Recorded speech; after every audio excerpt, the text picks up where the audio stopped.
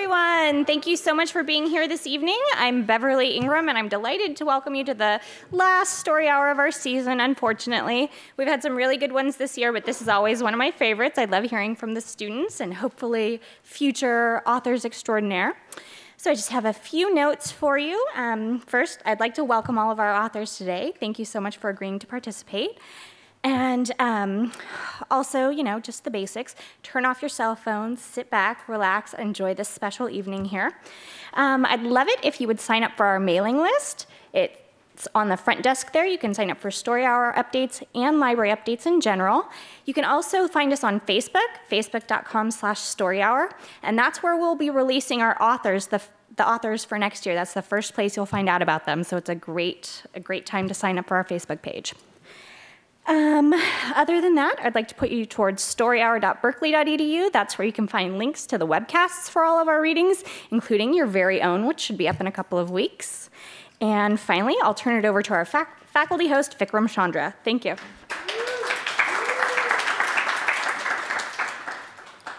Hey, welcome. Uh, the way we're going to do this is I'm going to introduce the first reader, and then each reader will introduce the next one.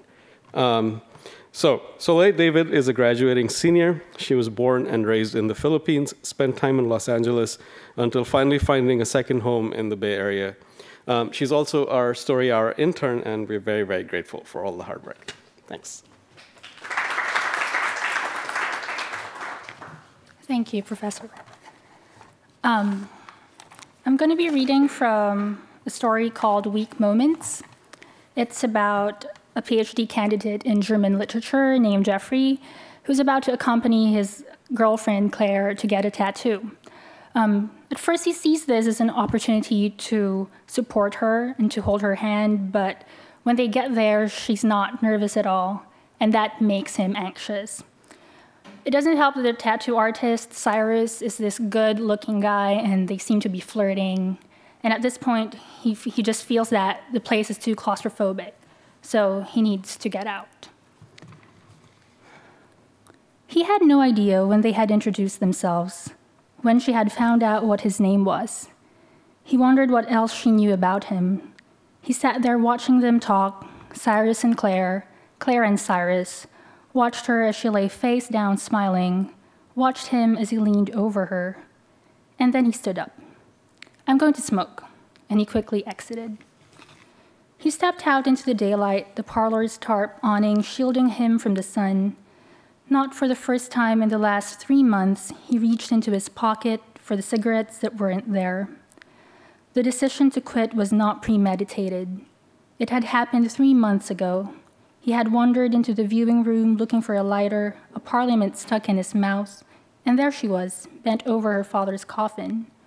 Her sisters were on either side of her, each holding onto an arm. It took him a moment to realize they were dragging her away, and she was resisting violently. Her hair was plastered around her face, her makeup smeared around her eyes. The sweat stood on her forehead. Her mouth was open in a wail, and her sisters joined her in a strange chorus of agony.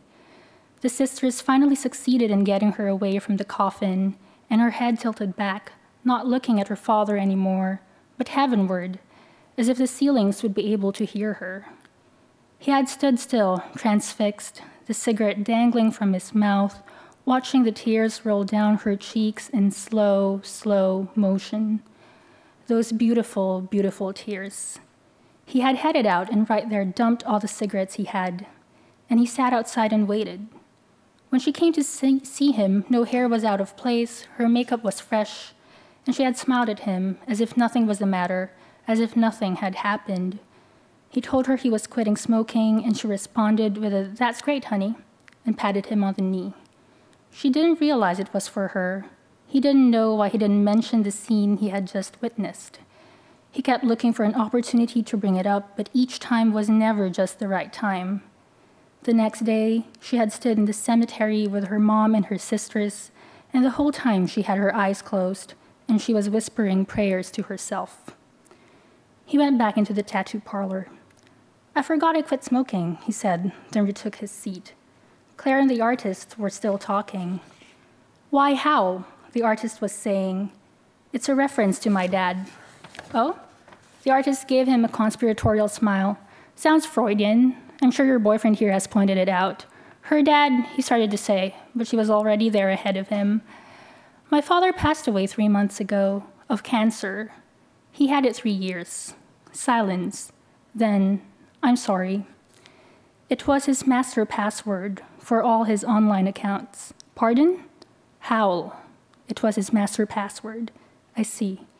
It's fitting, I think. He was a bit of a rebel, unconventional. Howl, you mean like the Allen Ginsberg poem? Yes. And then she smiled at Jeffrey. That's one reference that Jeffrey approves of. I can't help it, he said, if I like good literature. Claire and the artist laughed. He didn't get the joke. He squeezed her hand and she squeezed back, but the hand immediately went limp under his. She had closed her eyes and she didn't seem to notice him there at all anymore. The artist had a needle over the base of Claire's neck, his hand tracing and retracing a line. He was attacking his girlfriend's skin with what he thought was viciousness, like a child furiously coloring in a drawing book. He was intent on his work and took no notice of Jeffrey. When he saw the blood, he gripped his girlfriend's hand all the more tightly, convinced that it was going to hurt, that this was the moment when she'd shed tears. This was the moment when he'd finally be able to protect her. She was breathing evenly, as though she were asleep. Her face was calm and natural under this deliberate wounding, and her breathing accented the pace of his, and he could feel the panic well up inside him. His hand, the same hand that was supposed to reassure Claire, felt damp and clammy. That's when he heard a strange, wrenching sound. It was deep and tortured, a cry of pain that couldn't be muffled. Jeff? He realized the sound had come from him. He had let out a sob, had shut his eyes, and stood up. Claire's face swam into view, her eyes wide, and were they really? Worried. Silence as his heart slowed down. The tattoo artist was standing still, the needle at his side dripping blood and ink onto the bleached floor. Thank you. So, Joshua Escobar is a sophomore who grew up in San Bernardino County. His love for literature sprouted when his sister would read him Aesop's Fables and C.S. Lewis, stories that still leave him feeling nostalgic. His writing is propelled by, des- by a desire to keep asking why.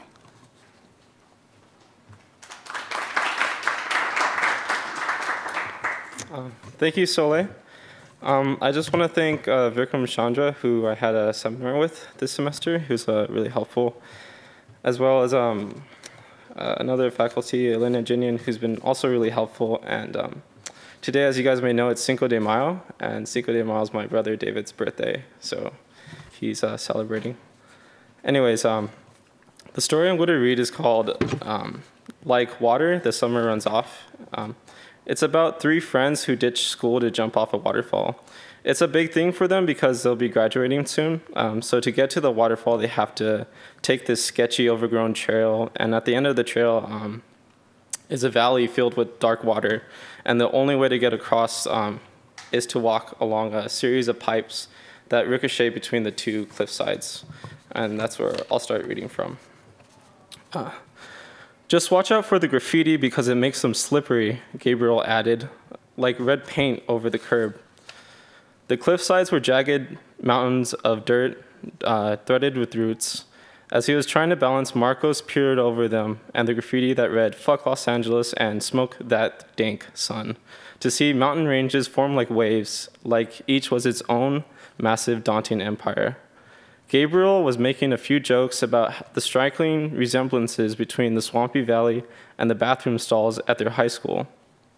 Other than that, the three of them were silent as they crossed over the water.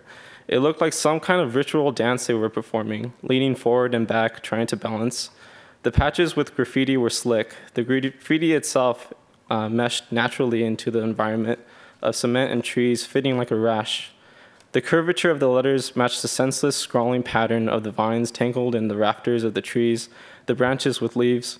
More of it read, If you, at first you don't succeed, call an airstrike, and the beginner is what becomes. At the end of the pipes, they could hear the waterfall rise over the sounds of the insects. On the final cement panel, someone had sprayed an enormous phallus veinous, veiny and ferocious like a dragon.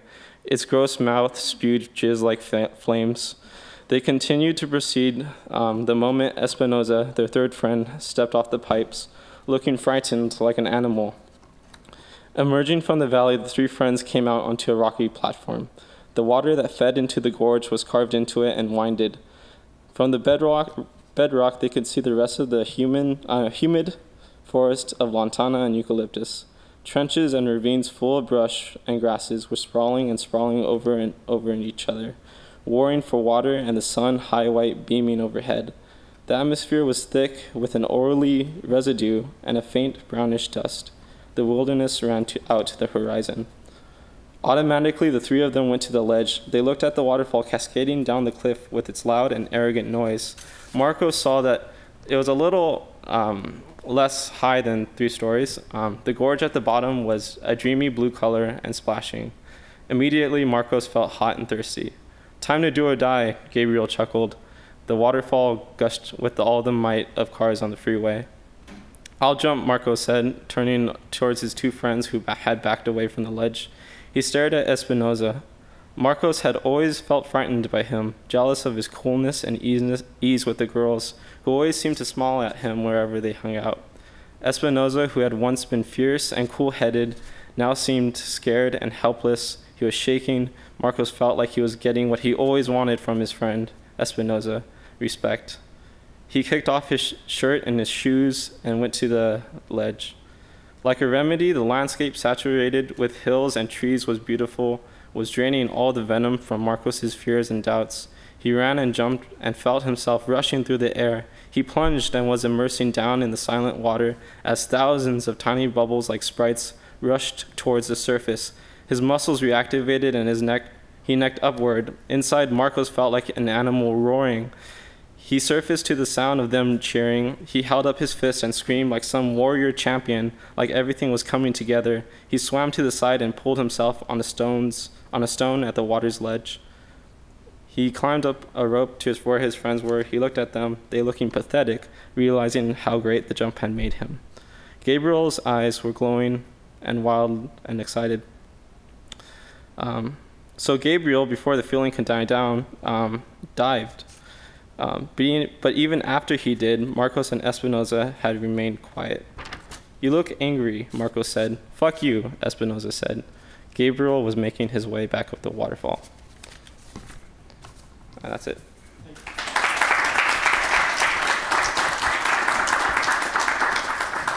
Um, the next reader is Kabir Kumar, uh, Kumar. He is a 19 year old musician and a writer from New York City. Uh, he's also my friend, and we had the same workshop together. Uh, he is a second year English major at UC Berkeley, and some of his favorite writers are Vladimir Nabokov, uh, Haruki Murakami, and Milan Kundera.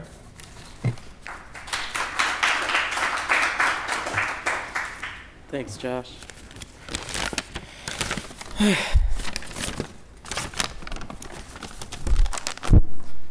uh, the story is called Syncope.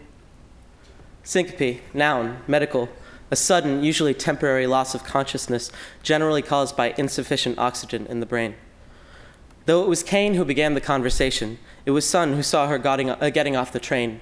Looming far above the arc of his vision, not so much tall as cloudy, autumn was kind, a lounge of sunshine, snow, a washing wind for each color of the trees. New York State, blanched in blood and pearl and leaf, saw them curling back onto themselves until they fell, Sun beamed a ray, kissing cold and holding his fingers up. The East Coast. Sun rose from the bench as Kane walked over, busily fishing something out of her backpack. Then, clutching a book in her hand, she pulled Sun into an energetic embrace. Sun's face pulsed with surprise, then softened. Kane took the book and stuffed it into Sun's hands. Thank you, she said, for the great read. I loved it. Well, I'm glad you enjoyed it. It's one of my favorites. How was your trip? Kane moved her hair from her face and looked down, replying only, Hey, son, you want to lie it up? He fixed his eyes on the glass chamber, which glinted menacingly in the reflection of the railing, and flicked the cruel metal serration on the flimsy plastic nozzle. Holding it out, he leaned it over the pipe and lit the ewer. The flame licked hotly at his right thumb. while his left taped the hole, tapped the hole at the bottom of the glass concavity.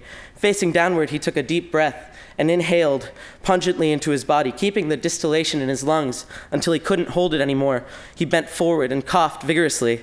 The smoke whispered up into ozone. Fuck, son, when'd you last get high?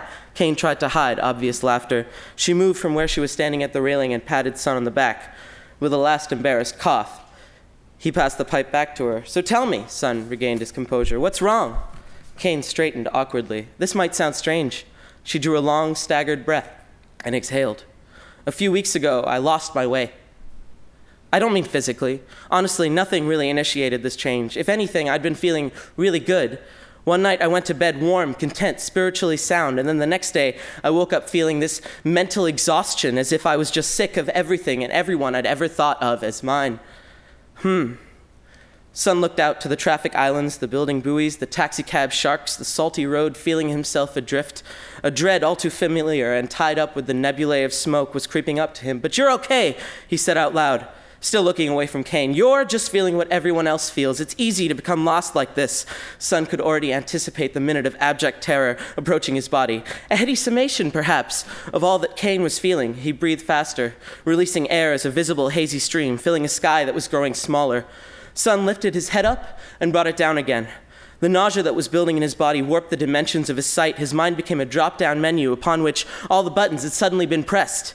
Pop ups flitted past the firewall, so carefully fitted into place, and his consciousness was surrounded by signs that all read no direction. His eyes closed. Whiteness, brilliant and shining whiteness, then the gray of floor, the tired pink of knees, where am I? Who am I? What is this? Who are you? You're beautiful. Do I know you? Are you my friend? Are we close? Did we fuck? I'm on the ground. It's a little cold. September? October? Are you talking to me? I need some water. Water, water, water, water, water, water, water, water. The sun is going down. Yes, my name is Sun. I was just sitting here and I was talking and you were talking and I was talking. Did I miss the part where we fucked? Sun, Kane repeated. Are you okay? Rifling through the, her bag again, she lifted out a metallic bottle which she placed at Sun's lips. Sun shook his head and took hold of the reflective silver aluminum. He tilted it back all the way so that the water filtered down through the rubber nozzle into his mouth and drained into his stomach. His eyes were still unfocused and glazed over, and he looked past her as he gave her back the vessel. Don't worry about it, I'm fine. You fell on the ground. I nobody has ever had that sort of reaction to weed in front of me before. You looked like you were having a fucking seizure. Sun finally looked at Kane. It's happened before. I guess I haven't been keeping myself hydrated. He smiled to reassure her. Kane still looked upset. She looked concernedly at Sun, trying to coax some sort of better answer from him. Sun shifted his weight on the ground and crawled closer to Kane before beginning to speak. Well, it's like, I guess, I've been feeling the same way you have. I mean, I guess I never gave you an answer to your problem, at least not a proper one. The wind blowing through Kane's hair framed her into a sad portrait against twilight cyan. Sun started again. I like people. And I like the idea of having direction, but a lot of the time I just can't stand it. I don't want to do it. I can't do it. I hate doing anything. If weed fucks me up, it's like after a minute of terrifying, overwhelming thought, I get 15 seconds of complete and utter dissolution of memory. His face cracked into a slight smile. I have no idea who anybody is when I'm in this state. I'm a newborn. I think it's worth a minute of fear to experience such a joy. It's like sleep. It's like a wonderful dream. It's like the only way to live. Don't think about anybody. Don't do anything. Paint your room white. Get a cat. Kane looked down at sun and then up at the sky where darkness was gathering.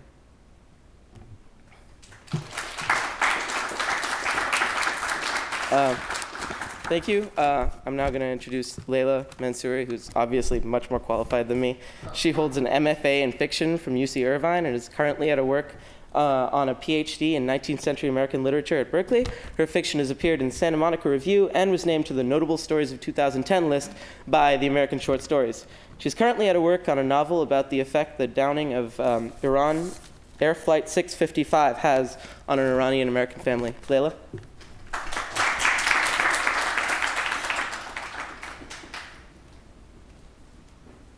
Thank you.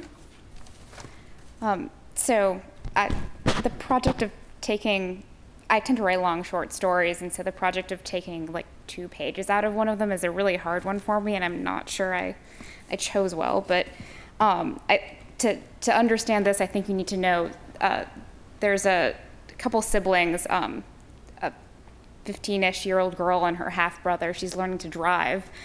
He's taken her to a large cemetery that has roads in it in the middle of winter. Um, it also happens to be the cemetery where her father, who died in a car crash, was buried. Um, that's all you need to know. The cemetery is drab and empty this time of year. Ashley has never seen it like this so leafless, so smoothed and muted by the snow. In her memories, it's always bright and sticky, with trees exploding in green and rows of color of flowers and flags sprouting up parallel to the gray and white stones.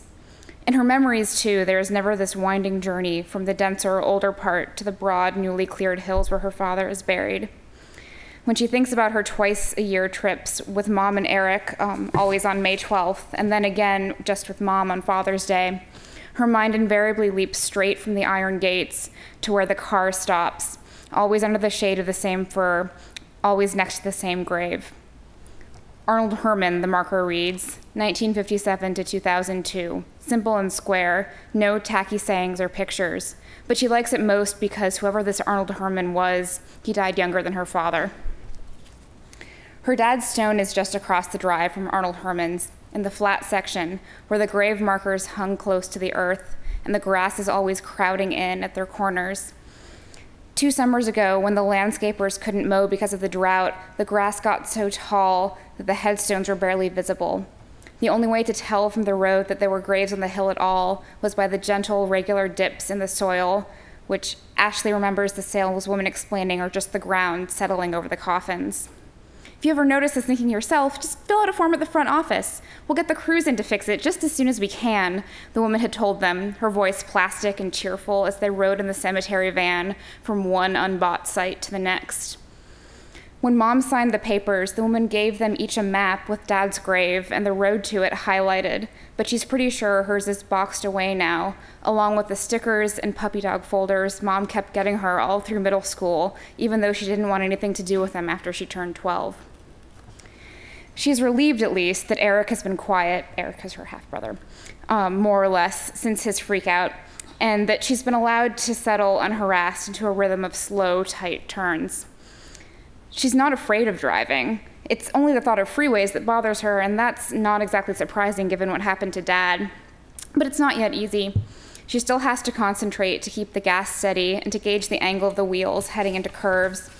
And she doesn't need her half brother making her jumpy.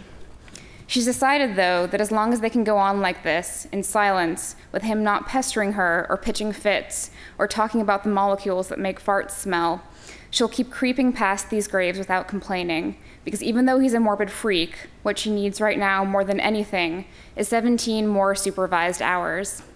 She has to have the hours logged and signed off on to apply for the license that will allow her, if not to take herself to school, since mom needs the car for work and she's certainly not about about to ask Eric to share, then at least to take herself to the parties full of juniors and seniors that Marta told her and Barry about before she stopped eating lunch with them altogether. The parties that the sophomores who get whispered about in a good way go to. The ones that Ryan said he'd like to see her at sometime. And she wants desperately to go to these parties, the ones that are technically open to the whole school, but because of the beer, the smoking, the parentlessness, are off limits in practice to anyone so completely a loser as to need a ride, a ride from an adult. No, she needs to go, because if she doesn't go, then nothing can happen. And sure, she's taken into account what Barry said about Ryan being only a junior and having a reputation as a skis ball at that, and how Barry thinks from the way that Marta talks about the parties they sound awful, like gross drunken hookup fests full of people they don't even like. But Ryan's been nothing but nice to her in, in their chemistry labs, and now, during the couple weeks before winter break, giving her all those rides home. And in any case, she knows it's not that simple, but he couldn't just ask her out like Chris did with Barry, because that's not how it works with older guys, especially not when the girl in question is a sophomore that no one pays attention to, because she doesn't eat with the girls who know how to tease their ponytails to look messy and accidental, and you take 10 minutes to reapply their lipstick after lunch. No, what she needs to do is make an appearance, be seen by his friends, and then it will all start to fall into place. She'll tell him how it was such a pain in the ass to get her license, how her crazy half brother made her drive in a graveyard, and he will say that's so fucked, and put, her put his hand on her leg, his warm, heavy hand, just like he did two Fridays ago as he sped across the Western Hills Viaduct. And now her hands on the rattling steering wheel, a knot expands under her rib cage as she remembers that gentle pressure on her thigh, the almost imperceptible movement of his palm. She brakes too late as the narrow road twists around a man on horseback marker. Tires lock, and salt scud scrapes gratingly as the car slows down to walking speed. Ashley, for fuck's sake, Eric shouts, stop the car. Sorry, she mumbles. Is this a joke to you? he asks. Are you trying to kill us? His face is taut, and there's a cartoonish instability in his lips, like at any moment his teeth might start chattering or he might snarl. She forces herself to swallow down the laughter that's punching within her and says calmly, evenly, I was going like two miles an hour, maybe four. Thank you.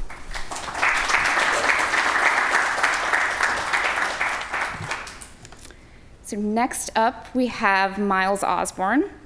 He is an, inter- an interloper from the East Coast. Myles is an avid writer and an adventurer with a deep appreciation for the humorous and the bizarre. He spends his time wandering the hills of Berkeley in search of any inspiration that might be nestled among the eucalyptus trees.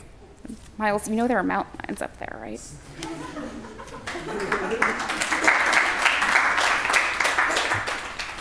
I am indeed aware of the mountain lion threats, but thank you for the warning. All right. Um, today I'll be reading an excerpt from a piece I wrote in Professor Chandra's workshop entitled The Gator Sanctuary. It follows an innkeeper who is middle aged and miserable, and he feels totally trapped within the environment in which he operates. Um, in this scene, we will see a very, very aggressive and um, very, very aggressive and interesting real estate agent trying to coerce um, the protagonist to sell his estate. Since you're not budging on this deal with us fine folks at Linwood Hospitality, I got an industry tip for you, Ter. You see those windows facing the lagoon? You gotta get rid of them, or at least rip off the, the wooden slats. People fucking hate mullions. They make you feel like you're in a cage or something, and besides, they ruin the view. People give anything for a pretty sight. I'll keep that in mind. Terry didn't bother looking up from his laptop. I don't get you, Ter. Is it a family legacy thing? You can't part with the childhood home? Believe me, you let me take this place off your hands and get you into a condo down Miami Dade way, you won't be thinking about where you took your first tricycle ride. Buck, I'm just not interested.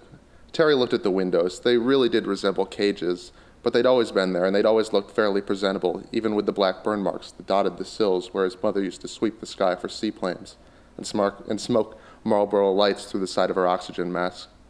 It's a girl then, ain't it? Nope. Terry laughed. He couldn't remember the last time he had. This time, Buck let in with an ace from his deck of platitudes.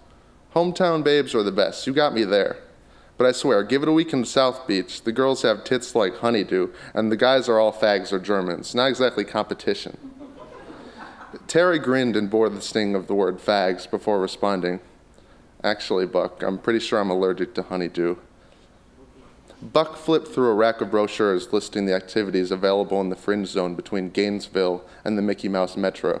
He tossed aside pamphlets for space shuttle launches and deep sea fishing trips and got loud. Damn it, Ter, how in the hell do you get off on this island? Well, if you're into history, you should check out the Muskogee Red Stick burial mounds. Terry had had enough of Buck. A bit of culture would certainly repel him. They've got this little museum on Indian baskets, too. Oh, and the gift shop is lovely. They've got those itsy bitsy license plates with people's names on them. I'm sure they'll have a buck. Ter, I didn't mean like that. Buck sighed. You talking about dot Indians or them Wawa red ones from the plains? He swatted his mouth with an open hand. Native Americans. Terry frowned. So what's inside these things? Well, the Muskogee Red Sticks believe that you had to be buried with all of your belongings if you planned on enjoying them in the afterlife. So, the powerful ones. Mind you, they were matrilineal, so authority was given to the matrons and the caregivers got buried with everything clothes, furniture, calfskin dolls representing loved ones. Terry paused, thinking of Brian and watching emeralds tumble into the refresh lozenge of his email. There was no sign of him. What was I saying? Oh, yeah. That way, even after they died, they could still enjoy life the way they did back when they were alive. Sounds awfully stupid to me. Why would anyone hang on to all that shit? Heaven's all about living it up better than down here. Nope, I'll pass on the Wawa mounds. It'd be a good selling point, though. People who stay at Linwood properties are into history and shit like that. Terry groaned. Buck, I'll tell you flat. I see what you're after, and yes, there are places I'd rather be, but I'm not selling. I can't. Not yet. I'll tell you this flat Terry. If you don't sell, you can forget about them goddamn honeydews. There's a reason this place keeps getting passed over by the realtors. I'm the only person crazy enough to invest the kind of capital this place needs. New roofs, new flooring, new bathrooms. I mean, Jesus Christ, Tara, it's like you've been sitting around waiting for the Messiah to come and save your ass. I ain't no deity, but I'm the only one who's got what this place needs time, cash, and sanity. The dinner bell rang, summoning Terry. He marched obediently toward the knell, leaving Buck nonplussed beneath the rim of his cowboy hat. Honeydew would not be on the menu. Thank you. Um, now I have the pleasure of introducing our next guest, and throughout the year I've had a horrible history of mispronouncing her name time after time. Um, I uh, fondly refer to her as Tamillionaire, but now I will pronounce her name as Sharada Sridhar. Sharada Sridhar is from New York City, and this is her first year at, fresh, at Berkeley. Short fiction with Professor Chandra is the first English class she has taken in college, and it could not have gotten her off to a better start. Thank you.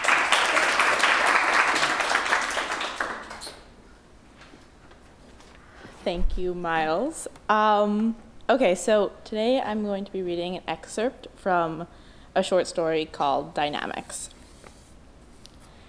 Hey, Lee, Elle called out softly, a whisper against the noise Lee was making in the bathroom down the hall. Elle sat cross legged in her sister's bedroom, her back against the wrought iron bed frame. Yeah, Lee replied. Seth is, um, uh, Seth is Elle stuttered as she sat up straight and shook her dark red hair over her rounded cheeks and upturned nose. All her turquoise eyes could see were thin streams of morning sun that were carelessly spilling onto the polished wood floor. What? I can't hear you, Elle. Do you know where the eyeliner is? Lee, I need to, uh. Elle trailed off again. She breathed in deeply, folding her legs into her chest. What is it, Elle? I seriously can't hear you. Come here. I need to, uh, why are you up at eight on a Sunday morning? Leah said loudly, finally drowning out her sister's noise. Elle pushed her hair away from her face and stared blankly at the open doorway in front of her, imagining running. Running across the long, creaky hall, down the staircase that ended with a curve, and out the door. And once there, she imagined filling her lungs with evergreen air and yelling it back out. I found the eyeliner! At the sound of Lee's voice, Elle's eyes snapped back into focus, and she slowly rose to her feet as her little sister continued to talk. Their eight year age difference was always most apparent to Elle when 22 year old Lee was too oblivious to be true. Anyway, I'm entering this haiku competition thing today, and I thought I had my poem all set last night, right? But when I'm going to bed, I reread it, and I'm like, well, this is terrible. So I stay up most of the night rewriting. Anyway, it was 2 in the morning, and I was completely ready to give up. But then I woke up at 4 and realized my original draft was definitely the best. So I sat. I need to tell you something, Lee, Elle interrupted, her body straight and still in the bathroom's doorway. What's up? Lee said, concern in her voice, but Elle saw her hand twitching to get back to applying eyeliner. Seth's moving back in. Her hand stopped twitching. Moving in like he's getting the house? Because if that's it, you don't have to worry. We can totally stay at my place in the city. I was here temporarily anyway, and it's much cooler than the burbs, not to mention closer to work. So don't worry about it, Elle. No, Lee. He's moving back in with me. We're getting back together. As Elle said this, she did not look at her sister. Instead, she went back to imagining herself yelling from her front door. Elle did not picture her lips spilling obscenities or pleas. Instead, when her mouth opened, the sounds of regalia, burgundy, amaranth, and viridian sprang to life. She snapped out of it as, once again, her sister's voice brought her back. Still, she could not look at Lee. But he cheated on you, El. That's why you left him, Lee said slowly. When El didn't respond, Lee continued, Okay, Elle, tell me, what did he say? What did he say was going to fix your sham of a. Lee, what the hell do you know about marriage? Elle glared at her sister. Lee looked like she, looked like she had been slapped. Elle, I'm just.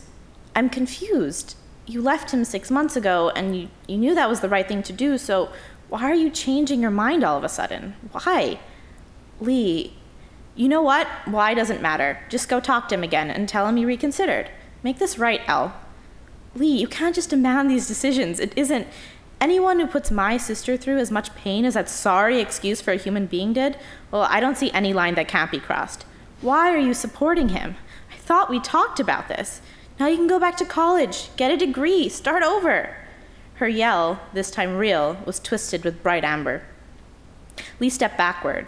This was not the sister she knew. Lee, you can't live for me. I'm staying with Seth, and I'm telling you this because you're my little sister, and right now, I just really need you, Elle said, a desperate plea creeping into her voice. Lee took another step back and found herself falling to panic. I'm sorry, Elle. I. I just. I can't. I need to go. Ignoring Elle's crestfallen face, Lee pushed past her, ran down the stairs, and out the door. Thank you. Thank you, guys. Um, so I'm introducing Emmyline uh, Sun, and she's graduating. She's a graduating senior at UC Berkeley. Uh, her parents wouldn't let her major in English, so she hid her English exploits under the guise of economics. Uh, while the prize committee thought that was just fine, her parents are still putting it under review. Thanks.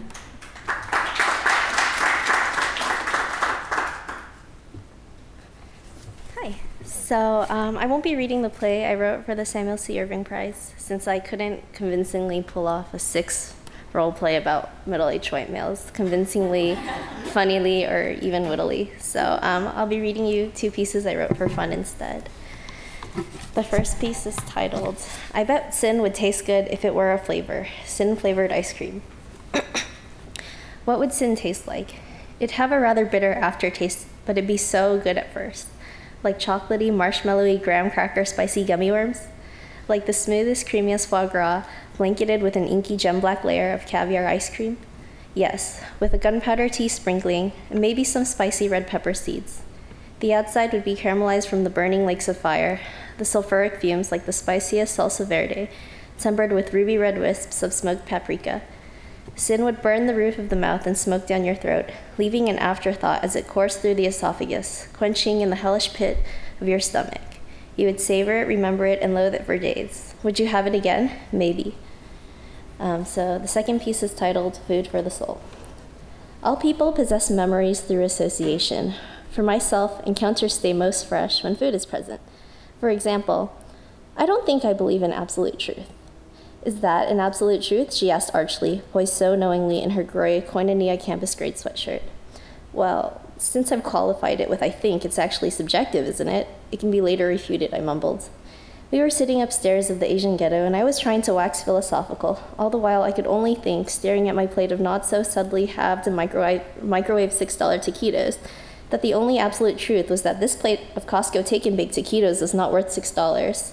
$6 a travesty. $6, the better half of a 1075 hourly wage. She smiled at me knowingly, and the seconds dilated. I squirmed. Touche, you got me. Is this what you learn in Comp Lit, the art of apologetics? Oh, Emmyline. She leaned over and patted me on the shoulder. You should really come to some of our meetings. I think you'd really enjoy the speakers. I can tell you with complete confidence that God's existence is an absolute truth, but you don't have to take my word for it.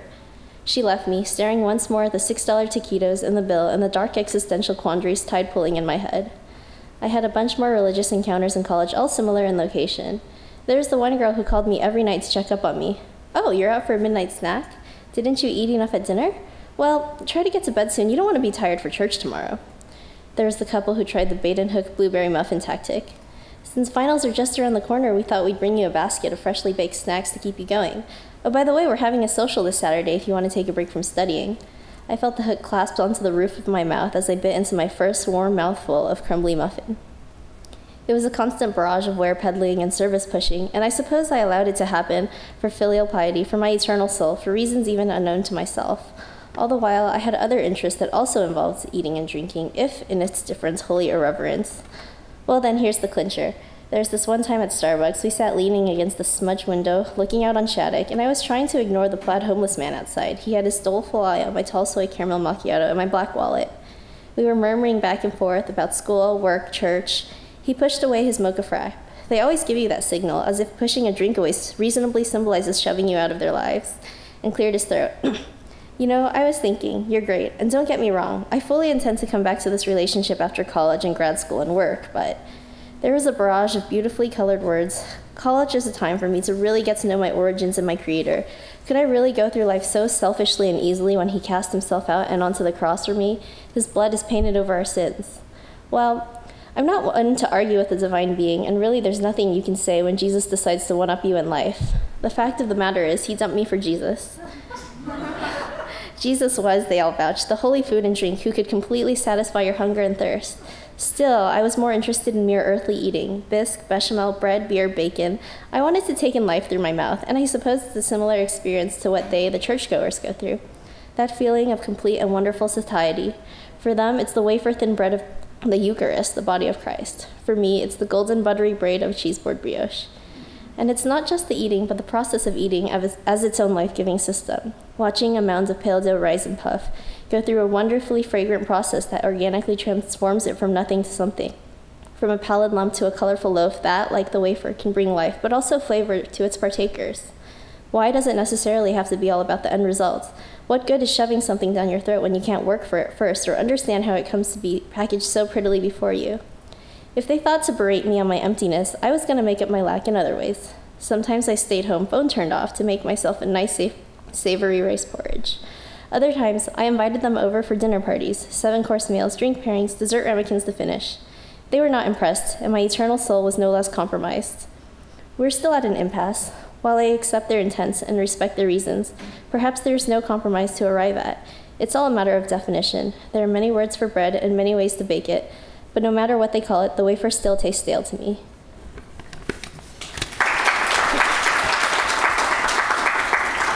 So I'm presenting Jenny Xie. Jenny is a third year English major and creative writing minor. She's also a workshop leader for the college writing program at the Student Learning Center.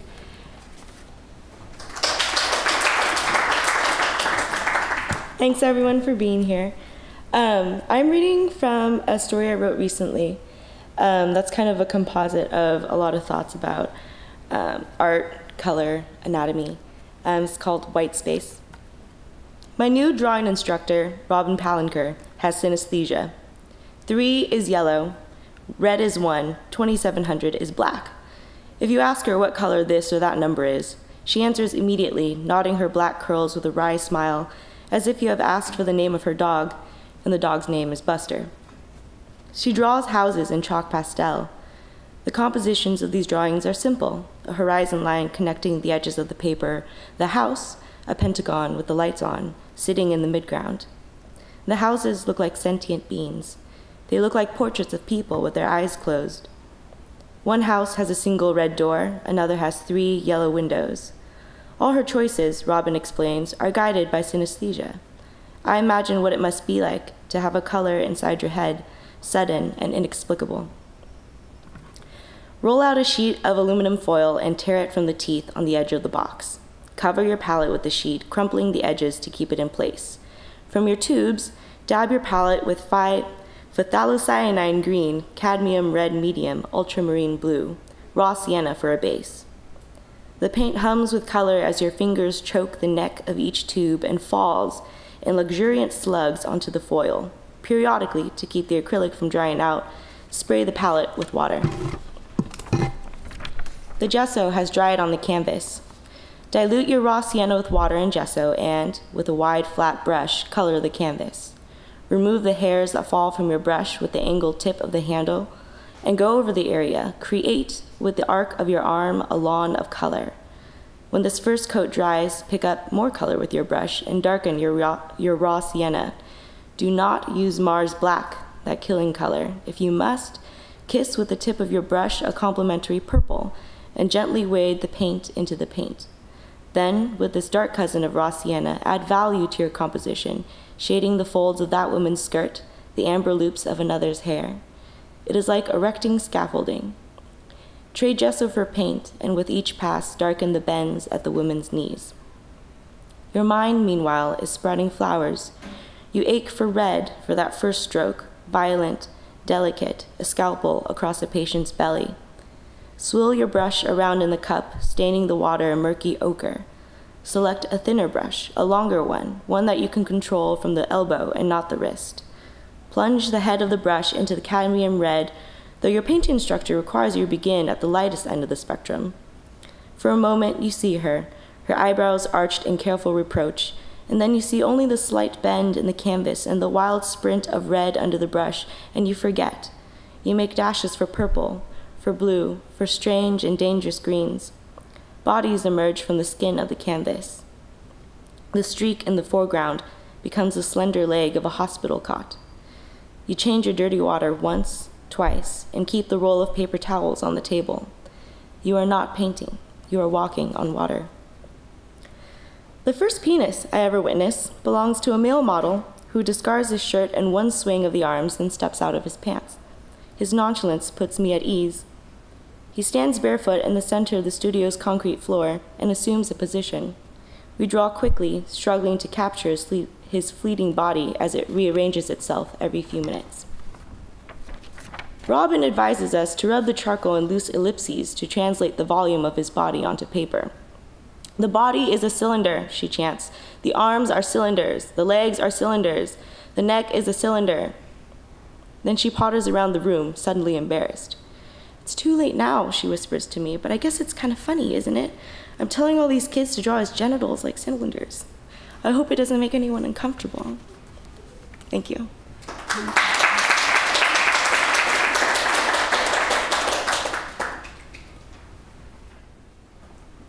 Okay, everyone, thank you so much. That was just wonderful, and I'm full of the excitement that comes with discovering new authors. So I hope we continue to hear from all of you. In fact, it dawned on me, if, since many of you read excerpts, if you'd like to submit your full stories to me, I'd be happy to post those on our Story Hour Facebook page if anyone's interested. So please check back on our Facebook page, and maybe you can read the full stories from these folks. So let's have one more round of applause for Soleil David, Joshua Escobar, Kabir Kumar, Leila Mansouri, Myles Osborne, Sharada Sridhar, Emmyline Sun, and Jenny Xie. Thank you all for being here. And we will see you in September to kick off the next season of Story Hour. Thank you so much. Bye bye.